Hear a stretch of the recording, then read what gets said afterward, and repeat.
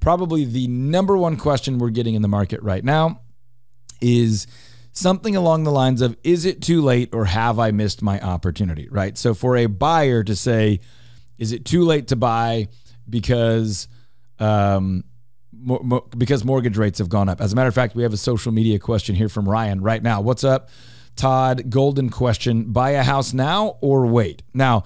Uh, we literally did a team training with our agents here on the Todd Tramonte home selling team this week where we discussed this exact question. And we talked about two primary scenarios that home buyers right now should consider. One of them was 90 plus days ago. Let's say let's say 3 to 4 months ago. And one of them is today. So let's compare these two scenarios. So if you're out there listening right now, lean in if you're a home buyer. But if you're a seller, you need to pay attention to this as well because sellers need to have a reasonable understanding of what buyers are thinking. If you have a product to sell, you need to know how to sell that, how to market that to the right buyer. What is a buyer thinking? What are they afraid of? What are they considering?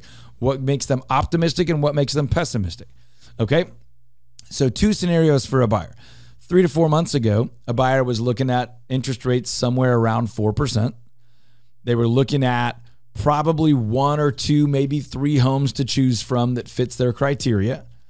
And they were also probably looking at uh, 15 to 20 competing offers for that home, as well as a seller that had zero interest in being negotiable with them, being cooperative with them. Seller sellers at that point were basically saying, "You'll do what I ask for, and you'll like it." Or you can go buy something else because I have 19 other offers. So that was the scenario three to four months ago. The scenario today is you might be looking at around 6% interest rate. That's not cool. That's not fun to have to consider uh, one and a half to 2% higher interest rate. But let's look at every single other item here. You're probably looking at four, five, or six homes to choose from that fit your criteria, maybe more. So double the opportunity of homes to choose from you might be up against one to three or four offers. So, like one, you know, 20% of the competition you had before, right? Four times less, uh, five times less competition to choose from. Uh, you're also looking at, because of that competition, probably needing to be at asking or a little above on a really nice house compared to three to four months ago, forty to fifty thousand dollars over asking price. You're also uh, looking at a seller today that would be open to a roof repair or getting that water heater fixed or patching a hole in the wall or getting some electrical work done that wasn't code compliant uh, for the buyer. Whereas three to four months ago, again, that seller was telling you to take a hike, that they weren't going to fix anything. So here's the comparison three to four months ago, rates were great, everything else was harder. Today, rates are not as great, but everything else is more beneficial to you as a buyer. Simply on purchase price, simply on competitive offer pricing, you might save thirty to forty to fifty thousand dollars. Where on your monthly payment, because of your higher interest rate now, you might pay two or three or four hundred dollars more. Now, hear me loud and clear: two, three, four hundred dollars more is a lot of money, but it might take you um, eight to ten years to spend the same amount in higher payment that you would have had to spend up front on purchase price or down payment just three to four months ago. So, for the majority of buyers, today is actually a more favorable setting to buy a home in. That doesn't mean that everybody can do that today or that the higher interest rates haven't priced some people out of a home that they would want or like or feel proud of or one that's even available. But for a lot of people that can afford it, if you and your family and your finances want a home today and you can afford that responsibly, comfortably, then today for a lot of people is actually a better buying environment than three to four months ago. Now, here's an extra thought the interest rate today is temporary. We don't know how much it may go up. We don't know how much it may go down. But I can tell you that I am personally, I've been doing this for 20 plus years. I am personally very, very confident that rates will come back down. I don't know that they'll come back down to 2.25, but I believe rates will come back down at least into the low to mid fours in the next five years. So even if interest rate is a significant chunk of your consideration, you may only have to carry that five and a half or six or six and a half point interest rate for the next uh, three, two, three, four, five years. And for the life of your 15 or 30 year loan, you may have, you know, an overall average of more like four and a half, which would be a really, really powerful um, leverage point. To buy a home in a more favorable market, take a hit on interest rate for a few years and then get it back down. Uh, we have another social media question today here from David. Does this current market feel like at all? Does it feel at all like what April, May uh, of 2022 did?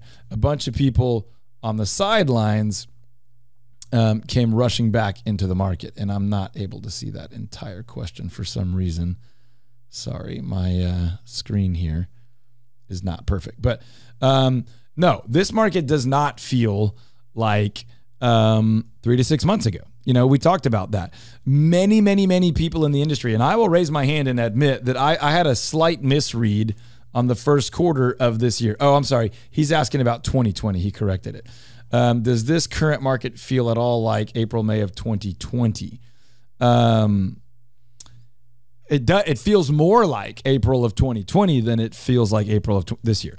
Um, and and the reason is there was a tremendous amount of uncertainty. And David, go ahead and confirm if I'm getting your question right, just because I I uh, my screen's not showing the whole question. I did see that you updated it to 2020, but um, in April of 2020, we had unbelievable amounts of COVID confusion. Right, we had lots of uh, uh anxiety and uncertainty in the market. People that were bold did really well because obviously they rode, you know, a, a massive ride of rapidly accelerating appreciation. Uh, but they had uh, unbelievably low interest rates and and they, at that time still decent inventory to choose from. That's what's happening right now, save for the interest rates. They got good inventory. They have less competition. They have a lower level confidence in the average seller. They have less offers and showings to compete with, and they have an interest rate that is you know pushing some others out of the market. So if I'm a buyer, that's what I want. More options, less competition. I would like a lower cost of borrowing, but don't forget a significant portion of our market is still cash buyers and they're making hay in this market. So hopefully that answers the question. Uh, another one coming in Will a bunch of people on the sidelines now come rushing back in for round two of the craziness? Before producer Mason had a solid contribution there out of the production cockpit over there with his multiple screens and microphones and buttons to push um, you know, we're we're talking state of the market. We're talking about what choices a buyer has, and we're talking about uh, really your questions. A lot of them coming in through social today. Um, you can always ask a question on Facebook. Uh, you can find us on Instagram. I'm not personally quite as active on Instagram, but our our Todd home selling team page has got some good stuff up on there. But we got a question again from David here. Will a bunch of people on the sidelines now come rushing back in for round two of the craziness? And I, I think yes. What we what we've seen in the last 60 days or so here in the Dallas Fort Worth market is that sellers have come rushing into the market more so than in the last five years. Um, so we've seen a pretty typical. If you look at the data and sort of the pace and momentum of the data, in some ways we've seen a fairly typical spring where inventory uh, lagged a little bit and then shot up in June. But it shot up relative to where it was before, this year it shot up a lot more than in the past. So let's just say it might it, it might traditionally go up 20 to 40% in June. This year it more than doubled in lots of areas, right? So you're talking 100%. Now, it was so low, you might have had a neighborhood with 3 houses for sale and it went up to 6. You might have had a neighborhood with uh, two houses for sale and it went up to 8. That's a 400% increase in inventory, but it's not it's not like all of a sudden there was 85 houses on the market. We kind of surveyed our team, and we'll talk to some of our team in the second half of the show. But we surveyed some of our team, and they said their typical buyer in uh, first quarter, early second quarter had you know two or three homes to choose from that were meeting their criteria typically, and we typically have slightly pickier a little bit headier buyers. If that's the kind of person you are, you probably want to reach out to our team. Um, we have a, a, slightly sophisticated clientele, and we love that. Um, but now they're saying they've got four to six, right? So it's probably doubled from two or three to four to six. That's a big difference if you're that one buyer who has twice as many homes to choose from. But um, as a market, it's not blindsiding the market, right? We're seeing a lot of volatility like we did see in spring of 2020, like David's question indicated. Uh, and we're seeing sellers rush in. I think a lot of that is legitimate, uh, not legitimate. It's panic selling, meaning people are worried that the ride is over. And look, they might be right. I don't think we're going to have some hard crash to the end of our run. I think right now we're experiencing some of the volatility like we experienced in spring of 2020. Some people just, a lot of people just don't know what to expect. And so they're making decisions on a much broader spectrum than they were spring of this year, where there was almost blind confidence, just exuberance that prices would keep going up, buyers would keep knocking doors down, and sellers could keep calling their shots. Now we're seeing some sellers that are like, nope, I'm going to still call my shot. But other sellers who are saying, look, things have changed. I need to get out while the getting is good, or I need to get out before I get stuck.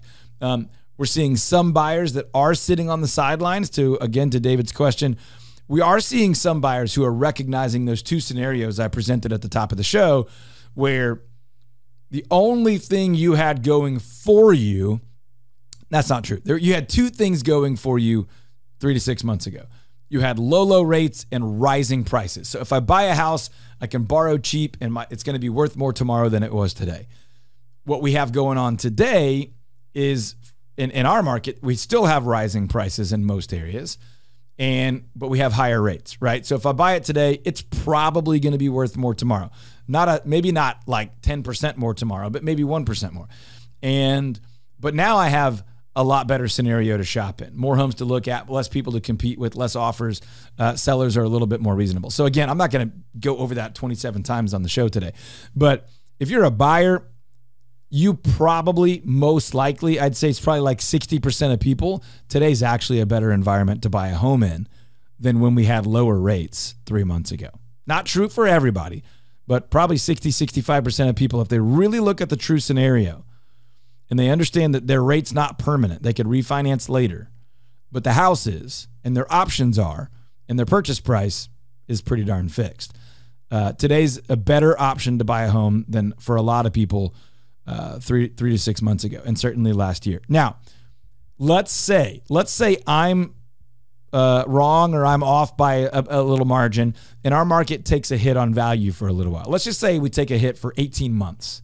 Values slip a little bit most people that are buying a home right now plan to still be in that home in 18 months or 24 months.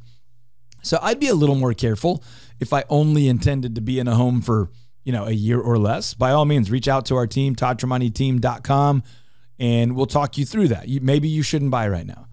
But for the vast majority of buyers that plan to be in a home long term and are looking for the best deal and the best options, most of those people, most of you are better off buying now than you were three to four months ago with lower interest rates. And for a seller, it's still a great time to sell. But as buyers get priced out of the market and as buyers have questions and concerns and fears, that's going to have at least a somewhat negative impact on sellers.